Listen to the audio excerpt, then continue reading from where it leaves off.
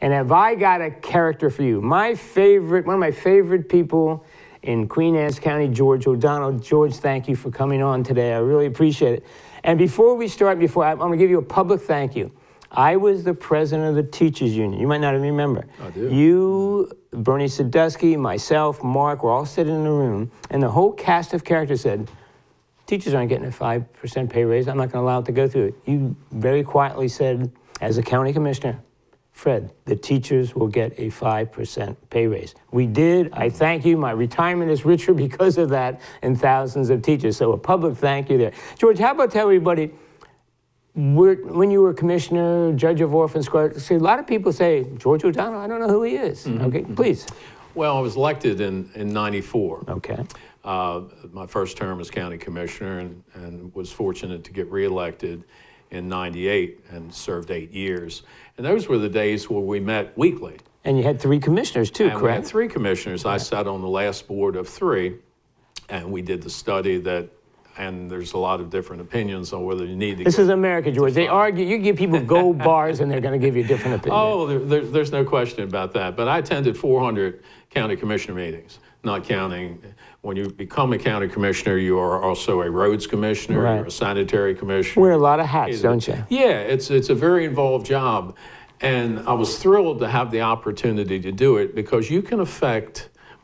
Uh, the well-being and the betterment of your county more as a county commissioner than in any other position, period. That's exactly what Jim Moran said in that chair, current county commissioner, Absolutely. about a year ago. He said, mm -hmm. Fred, local politics, I can get things done. Absolutely. if I could get one more vote on a Tuesday, and I, my, my uh, second board was, was very, very collegial. Of course, I was on a, a board from 94 on, but I just left uh, former Commissioner McQueenie, and we, I mean, it was just, um, it was thrilling to see what we were able to accomplish. Um, in 94, when we came in, one of the reasons I wanted to, to get into this, I wanted to see services improved. The county had a needs list that I didn't think had been addressed. They weren't accomplishing quick enough. Yeah, yeah we needed a high school. You know, the high school. The second high school. We had poor kids from Kent Island yeah. and Sudlersville had to spend half an uh, hour, if not an hour, the high school buses. that I graduated from next mm -hmm. door here right. was so overcrowded they had to take ninth grade out of it. Then you lose an elementary the school. Kennard and they put them in the Kennard building correct. where yes. I went to sixth grade. Right, so right. the county's, uh, uh, I think, done a very good job of managing uh, the different uh, facilities to uh, maintain our school population, but it ran out of room and that needed to be done. Well, sure. quite naturally, uh, when you're looking at a $24 million project, that's not something you write a check for, so that required a, a tax increase. So in part of our plan, we put together in 94 the first uh, funded and balanced capital projects uh, program the county had ever had. Before then, it's sort of like they would go around and, and, and try to uh, uh, get funds from the various areas in the Peter, county. Paul, and Mary to get. To get yeah, it just we didn't think that that was the best way to do okay. it. So, as a result of that capital projects list, uh, we were able to put Kent Island High School, uh, which is now a center of the of oh, that part of the it's county. It's just you, you wonder my goodness gracious, the only thing that should have been done sooner. Well, besides After. the kids getting the education, the sports, the, oh. that all surface field, I mean, it's a, just a, it's a hub of the community, I think. You know, and um, it, it is, and of course, I think their football team, I believe, is undefeated. They had a great right. year. They had right. a great yeah, year. Yeah, so, uh, and, and the stadium, there were actually conversations that we had that some people wondered, uh, why do you need a, a stadium? I said, wow, why do you need doors and windows? Yeah. I mean, it's, it's, it's it like kind of goes with the school, yeah, well, guys. There's a stadium at Queen Anne's County High School. Well, yeah, but they're using it. I mean, you you can't. Anyway, so that, that was a great improvement. That, that project county. was our first effort of working with uh, uh, construction management. The project came in ahead of schedule and within right. budget, and it was brilliant, and $8 million less than the, the, the and courthouse to this day, it's a magnificent looking building. There's no graffiti to design. The privilege of oh, teaching the first two years. Uh, it's a beautiful facility, is it not? And it was built in such a way to allow it to be easily expanded because mm -hmm. we built the the physical in, infrastructure of it. The you know the the uh, cafeteria in those areas much larger than they needed to And be. they- and it can so grow that- out, So we can just extend it.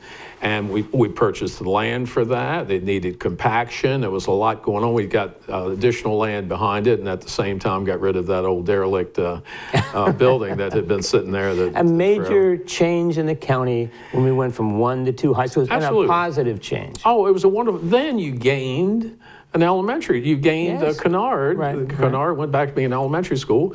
Plus, you had a much uh, uh, more reasonable population. People didn't have to get up an We hour went from 2,000 to 1,000, and kids Yeah. didn't spend hours on the road, right? Yeah, if you live down Kent Point or in the extremities of the county and they're taking you next door here, wow, you're getting up in the dark every morning to try to get to school. So, we- long story short, that was just, that project was, That was a an big absolute plus. pleasure. Very Congratulations, great job. George, what are, give us some other highlights of the eight years you had as a commissioner. I mean, a lot of things. What are the things you say, hey, Fred, I'm really glad we did that for the community? Oh, yeah. Well, um, of course, um, uh, the, the park system, you know, we have money that's allocated, has to be spent for open Mm-hmm. space program, open space money, and federal conservation funds and so forth.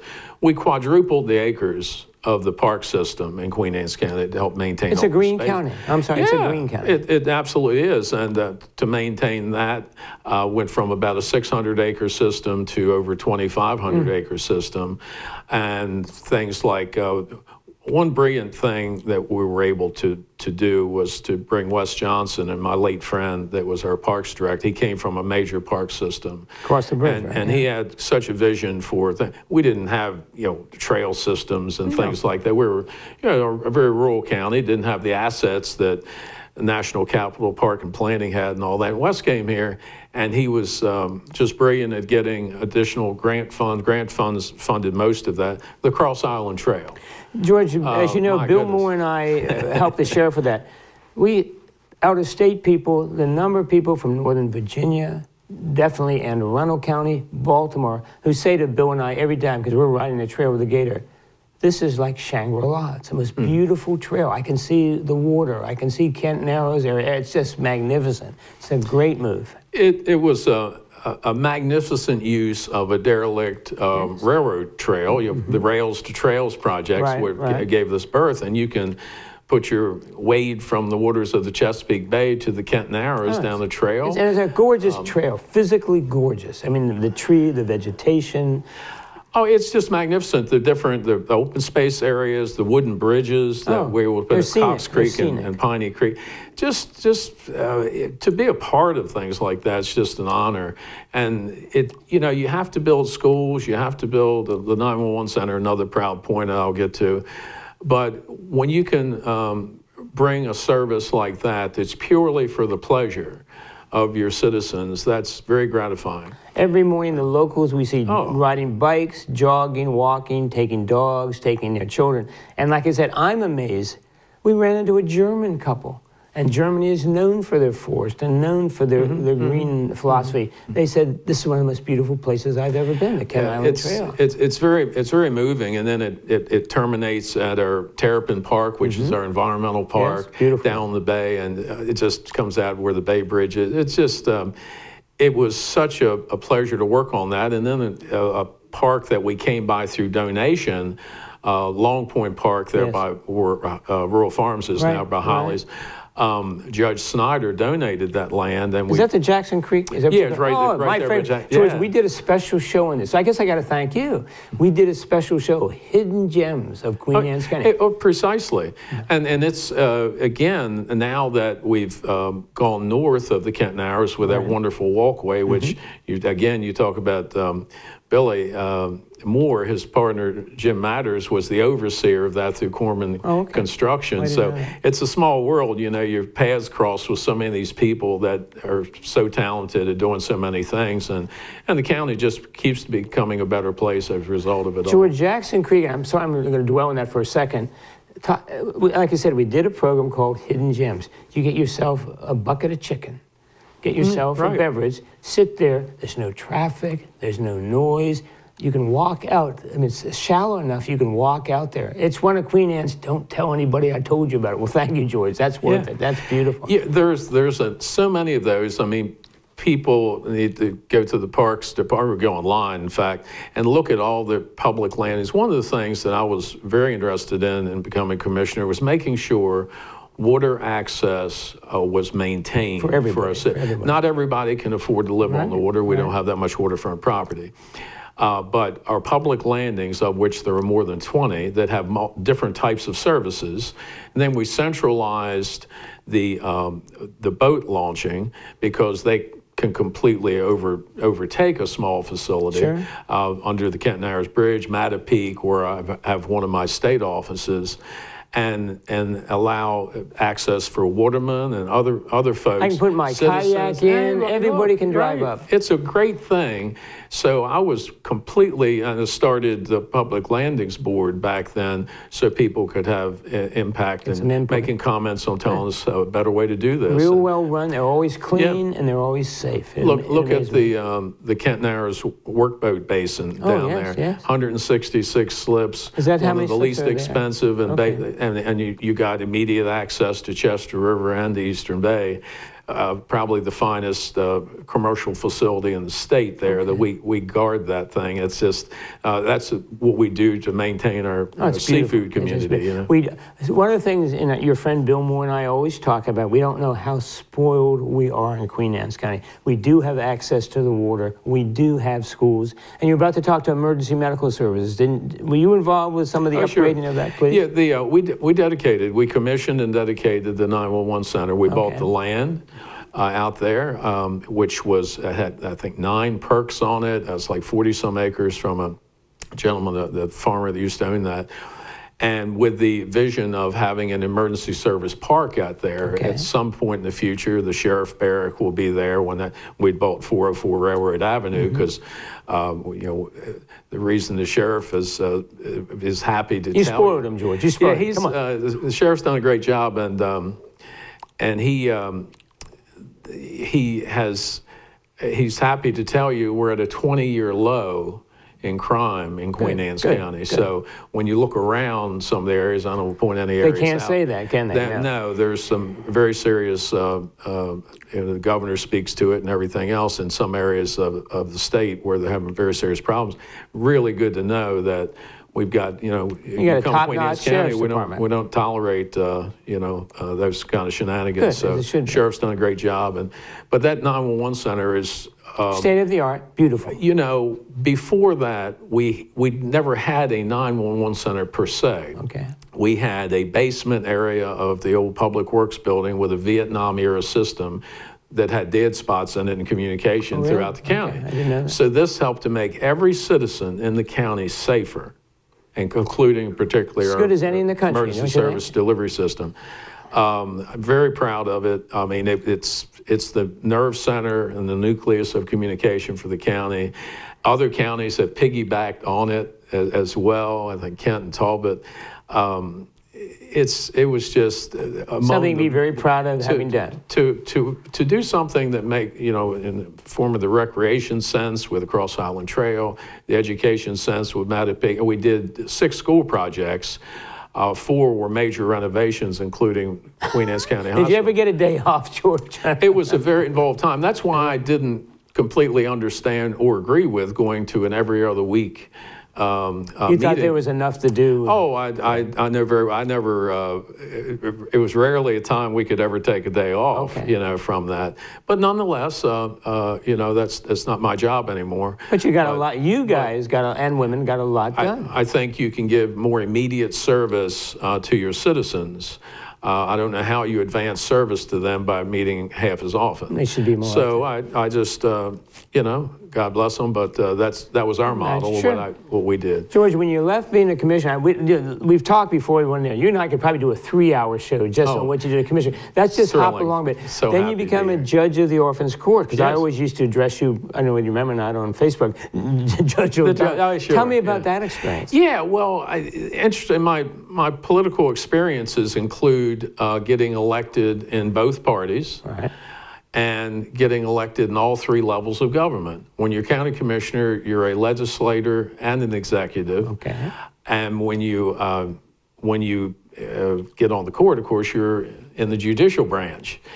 Um, so yes, I, I, my experience in Centreville, I have nothing but fond thoughts of them. In 2010, I was elected to the board of, uh, the, the Orphans Court, and people say, "Orphans Court, what do you do?" You do In the state of Maryland, you are a judge. Yeah, I well, mean, it's you're- not, you're a it's not a fly-by-night thing. You are, the, by the charter of the that Maryland is judge. that's the beginning level of the judicial Yes, system. yes. You have the uh, orphans court, then you have the district court, you have the, the circuit court, you have the court of special appeals, then you have Maryland's high court, the court of appeals, which is Annapolis. Um, it was just amazing uh, experience. Uh, you're probating wills. And You're stuff. helping people go through this probate process. Yeah, it's a correct? it's a very serious thing. Uh, you, you, a lot of people don't know where it is or what what you do or anything else. But when you have that, you need that service.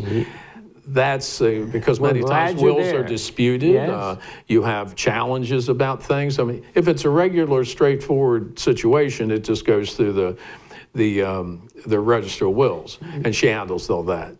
Uh, Laura Cook, who does But if there are questions, job. disputes, then the judges come in effect, right? Oh yeah, th- they're exactly right. We do that, and and they say, well, orphans court, orphan. Do you have a lot? No, we do have had guardianship issues, but that's like one percent of what you do. it's mostly yeah. probate and Okay.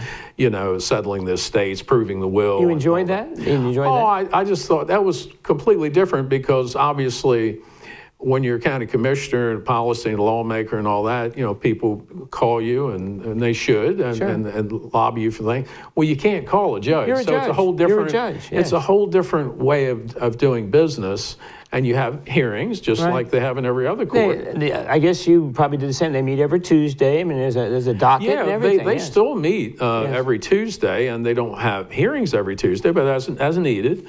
And they, it was just a very interesting Good job. experience. I had Well, a good, experience. To You and Tom. Ross, my favorite judges, all right? Uh, Tom, yeah, well, we, we again, you, You- you, you- talk about Tom Ross. Yes. I mean, we appointed um, uh, attorney Tom Ross in those days before he was a judge to be on our appeals board. Did a did a fabulous job. On, on Mm-hmm. Considered the best Board of Ed lawyer and the best appeals lawyer Oh, in the history of Queen Anne's he's County. Just, he's, he's been a, And a good jogging He's been a blessing. George, a quick story. Uh, I was for a while the head coach at Gunston High School in basketball. Mm-hmm. I was such a terrible coach. They hired Tom Ross as my assistance coach. They figured someone's got to keep an eye on Fred and keep him out of trouble. But he's a real gentleman like you and a good man.